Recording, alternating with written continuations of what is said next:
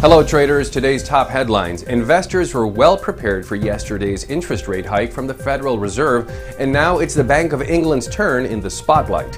It's Thursday, June the 15th, and here is our daily market review. The Dow Jones Industrials continued to add value on Wednesday. However, the S&P and Nasdaq slumped with small losses. The Federal Reserve delivered an interest rate hike as promised via a quarter of a point increase. Importantly, the Fed also indicated it believes one more interest hike later this year will be needed. Investors anticipated the Fed's actions well. The US dollar did experience fast trading before the Fed announcement, but essentially returned to known ranges as traders embraced the news. Weekly unemployment claims numbers will be published today and could prove interesting, but traders will keep an eye on the political theater from Washington, which continues to produce drama. The Nikkei and Topix indexes have remained cautious in early trading as investors continue to remain risk adverse. The yen has been stronger against the US dollar, and the 109 level is an important juncture. However, the Bank of Japan will make its monetary policy pronouncement tomorrow, and this will create volatility. Asian equities have seen tentative trading the entire week, yet they have suffered no major sell offs, and it appears investors are continuing to monitor conditions as they await more impetus.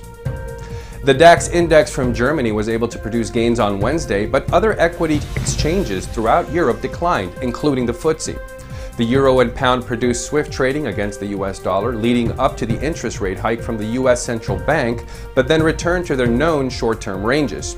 The Bank of England will release its monetary policy summary today, but no changes to the official bank rate from the UK are expected. Retail sales numbers will also come from Britain. The pound should provide traders with opportunities as the 1.28 level appears to be a focal point and short term resistance. Traders experienced a roller coaster ride with gold on Wednesday as its price climbed before the rate decision from the Federal Reserve was known, but declined in the aftermath when the official hike was announced. Gold has traded slightly lower this morning and the 1265 US dollars an ounce mark appears important today.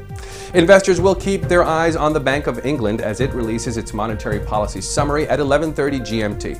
Thank you for watching. Have a good trading day and we'll see you again soon.